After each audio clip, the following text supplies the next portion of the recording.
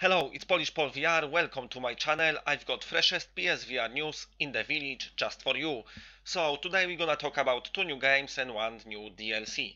Right, okay, so first new game, it is a horror game because we can't never have enough horror games. Uh, and I assume everyone just want another horror game. And this one is called Wraith, if I'm saying it right. Uh, not much known, they just released teaser trailer and announced it for us, so we're gonna have to wait and see what's happening about that one. And another game, it's a Japanese game and I'm gonna struggle to say this name, but I will try my best. So it's called Tear, that's the easy part. Uh, Owari no Hajimari no Shizuku. Uh, yes, that's I, what I just said. Um, and this is a visual novel. It's out on October 5th in Japan. Uh, you will use device called Tear. Uh, I think that's why the name is Tear. Uh, and you'll be hopping like between words and shit and doing random stuff like solving some mysteries in real life as well.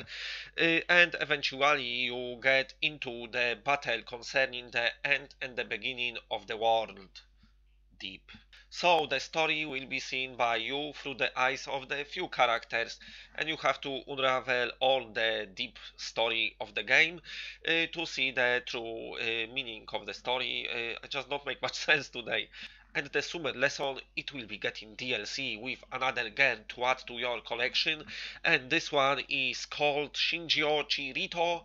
Uh, that's my uh, Japanese again being absolutely shit. And that's it from me. I hope you enjoyed the news video. Uh, if you did, then please hit like and subscribe and I'll be back.